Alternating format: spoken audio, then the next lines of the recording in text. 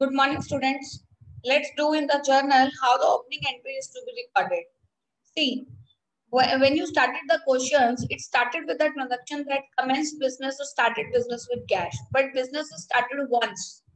It is not started every year, but every year the balance of all the assets, liability, and capital are to be carry forward to the next year. So suppose your business is going on for last so many years, and year to year you are just transferring the balance. The closing balance of the at the end of one year will become the opening balance of the beginning of the next year. So in this way, we have to pass the opening entry in the beginning of every year. Suppose, for say an example, we consider that the assets and liabilities are available to the business. Suppose cash is there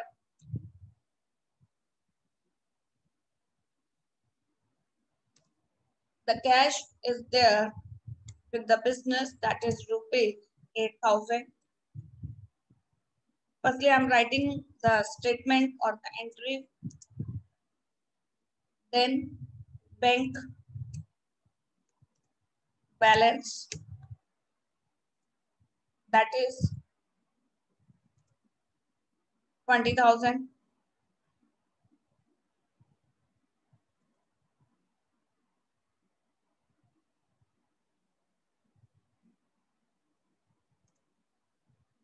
then stock 54,000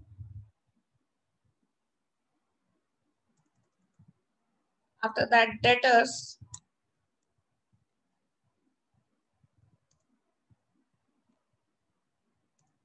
Forty-seven thousand.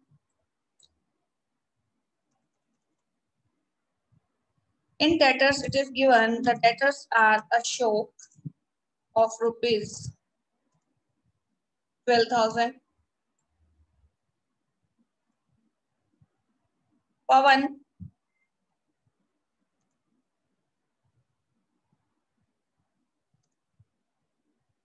rupees 15,000.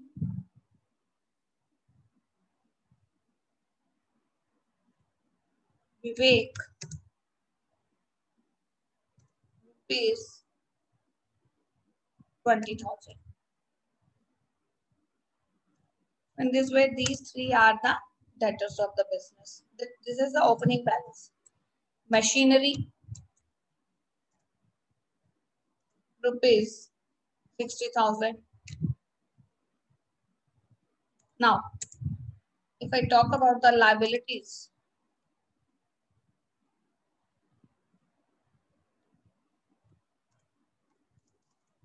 These are creditors.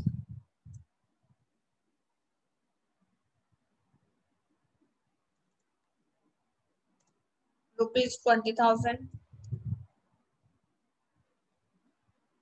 Those are Chaman Lal. Rupee. Seven thousand.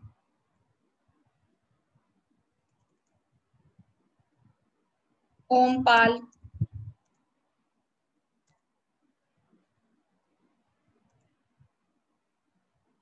rupees 13,000 capital. Rupees 2 lakh. So now the opening entry is to be passed by us see what to do. Here the value of the assets in the beginning as well as liabilities are given to you. The value of the assets and liabilities are given to us. What to do in this case? We have to put the entry in the beginning of the next year that is known as the opening entry. Now, what should be the opening entry? See, the opening entry will be whatever the assets are there, all are to be debit.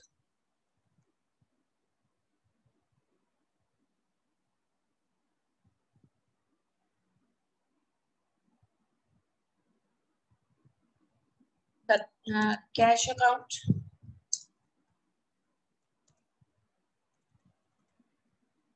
Debit.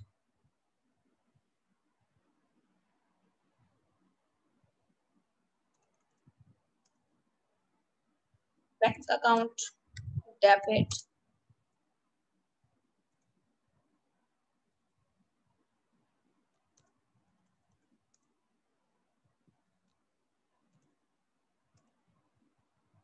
stock account.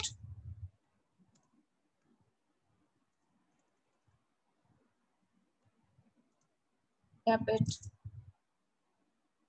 Now debtors are there. Ashok, debit.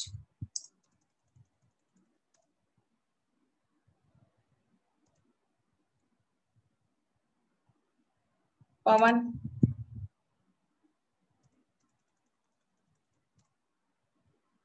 debit.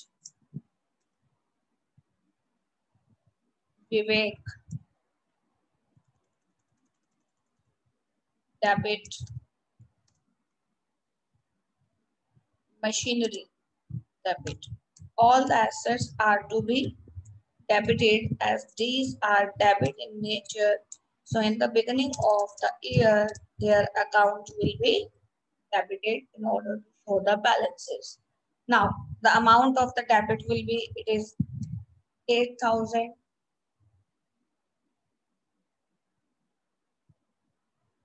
Bank, it is given specifically 20,000 is there. Stock is of rupees 54,000.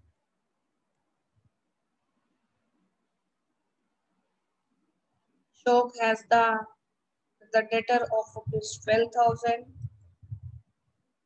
Pawan is the debtor of 15,000. Vivek is the debtor of 20,000. And machinery is of rupees 60,000. In this way, we have to debit all the amount. Now, the liabilities will be credited to Chaman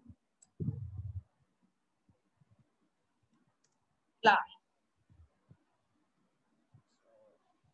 amount of the Chaman Lal is to be shown in the creditors entry. It will be 7,000.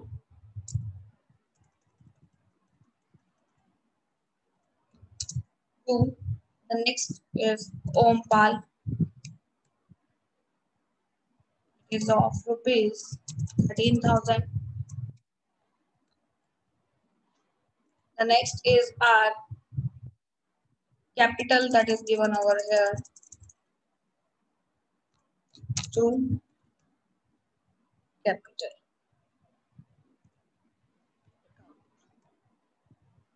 It is given over here that is 2 lakh.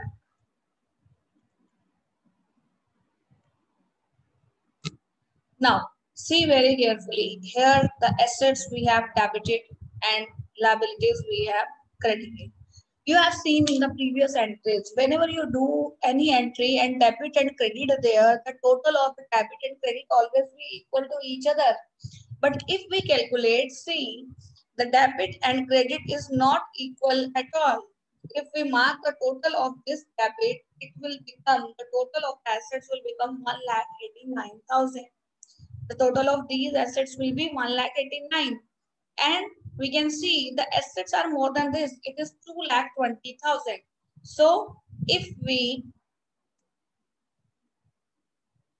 balance the entry, the balancing figure is to be shown as the goodwill of the business. So it will be goodwill account. What will be the balancing figure?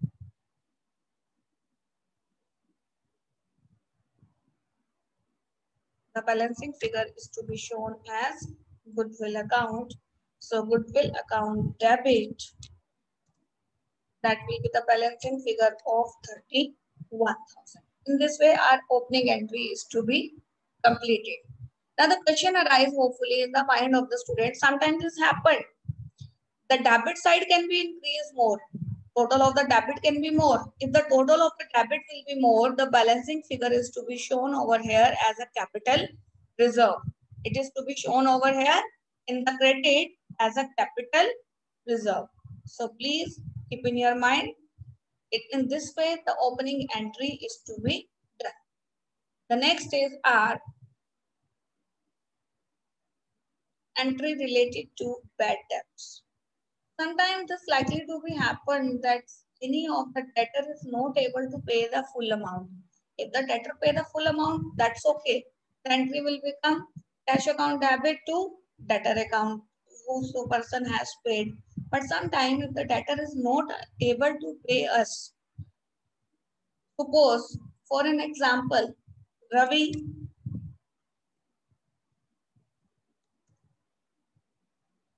odd rupees 10,000. If Ravi odd rupees 10,000 from us, it means he become the debtor of the business. Is declared insolvent. And 30 paisa in a received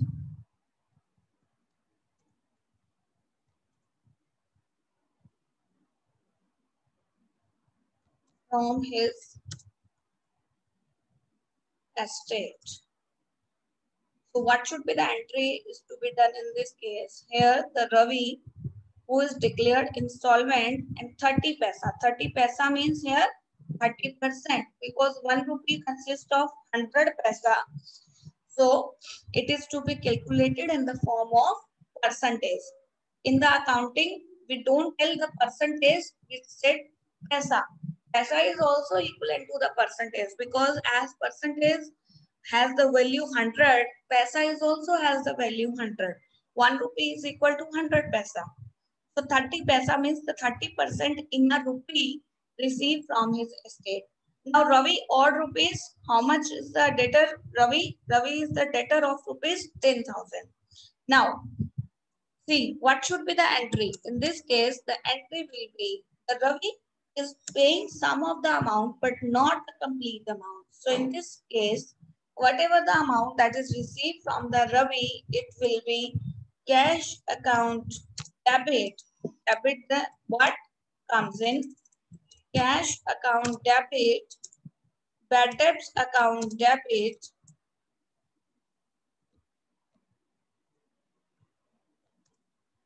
bad debts will be bad debts account debit to Ravi. Ravi is our debtor. So in this way, we have to pass the entry. Ravi is the debtor of rupees. How much? 10,000. So in the credit, the amount is to be 10,000 to be credited. 30 paisa we are receiving. 30 paisa means the 30% we are receiving. So the 30% of 10,000 will be 3,000. Now, 3,000 and what? how much will become the bad debts? The 7,000 rupees will become the bad debts of the business. So in this way, we have to pass the entry cash account debit, debts account debit to Ravi account. So this is the entry when any of the debtor is not able to pay you the complete amount. If debtor is not able to pay the complete amount, the journal entry will become cash account debit, bad debt account debit to Ravi. The next entry will be if those bad debt recovered next year, suppose. Suppose if these bad debts recovered.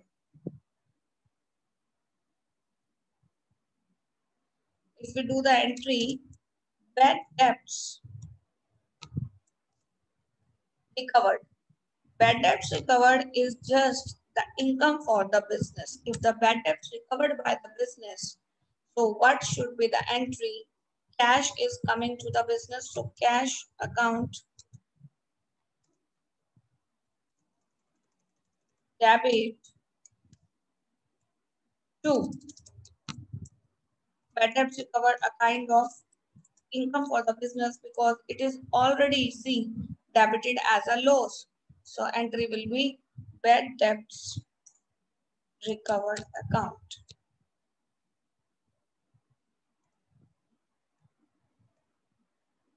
The journal entry will become with the amount, any of the amount. Suppose this is uh, the above and related to above entry. This 7,000 has been received so the amount is to be here. 7,000.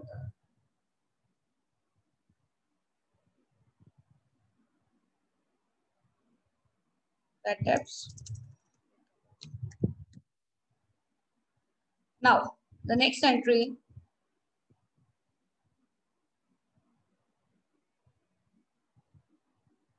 Next is related to outstanding expense. Before doing this, I just want to tell you the expense will be of two types.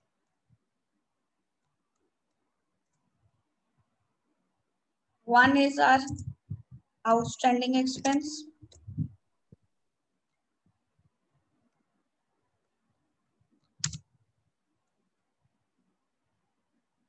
It is not given in the book, so everybody please keep on noting down Outstanding expenses. Expense that are due. Ma'am एक बार ma'am पिछला दोबारा समझाना वो ma'am bad debt वाला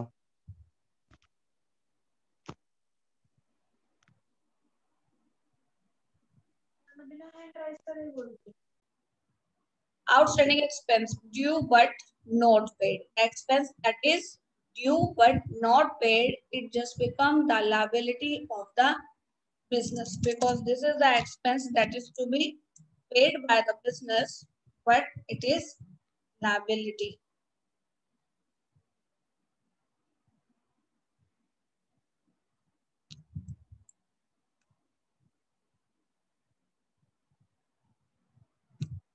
So we have to pass the entry for this. And uh, the second one is the prepaid expense. You have to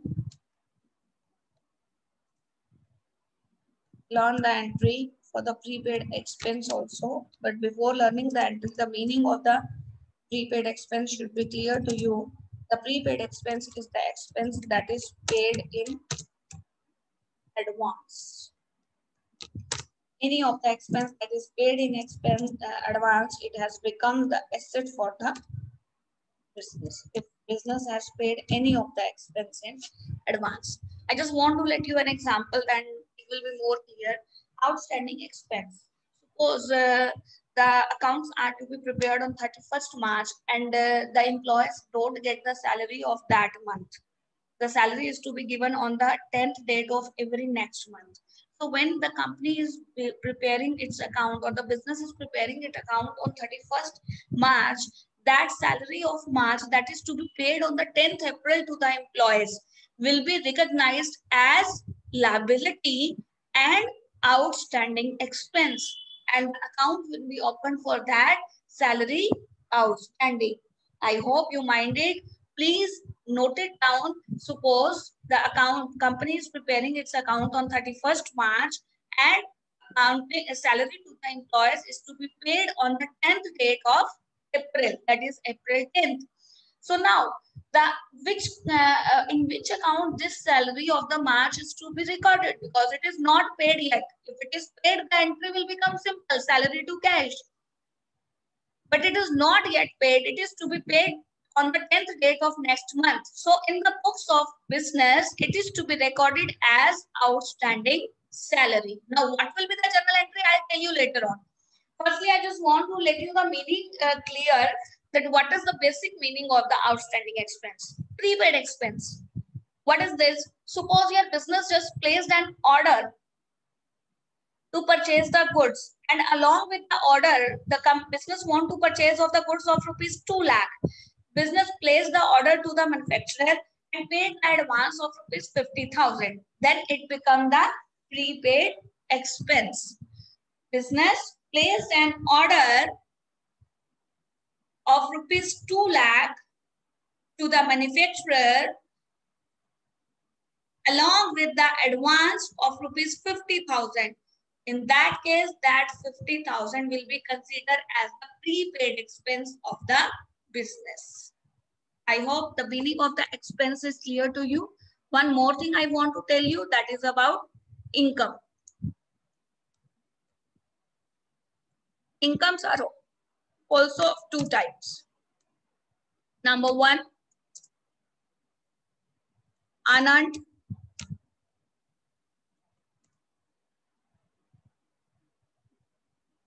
unearned income.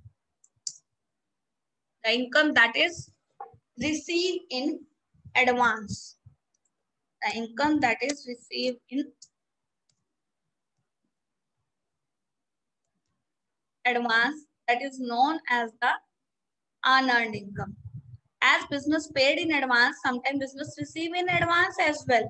Suppose you have you have your tuition center, you are just doing your profession, and that is your business uh, kind of.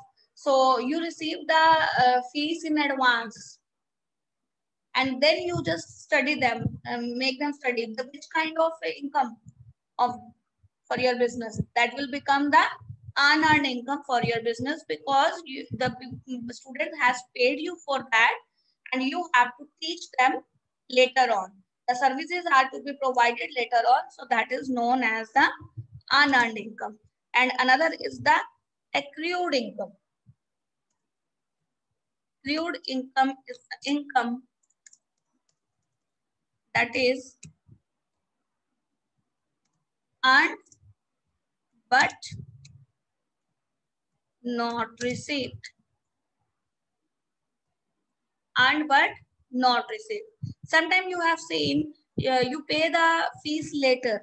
Suppose you are in your business, you are teaching to the students and they have not paid your fees by the time. It means you earned that. You have given your services, but the amount is yet to be received. Then it is known as the earned but not received whatever the income that you have received in advance is the considered as the liability of the business because in case of cancellation of the contract sometime some money is to be paid back. And in case of earned but not received for the that you already paid the services or goods so that become your assets. So in this way, this is the meaning of uh, different type of expenses and income entries related to this we will do tomorrow. So if you have any doubt up to this, please feel free to ask your queries. Now it's time for the query session.